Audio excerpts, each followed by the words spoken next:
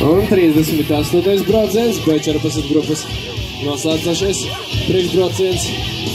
Pirmajā pozīcijā šobrīd Ronalds Rītiņš, numur 12. Otrā vieta Eiropā. Otrā pozī, otrajā pozīcijā šajā braucienā ir Rolands Palmers, Ventspils Spars. Bet trešajā pozīcijā Mītons Kumeni, Edgars Dimants.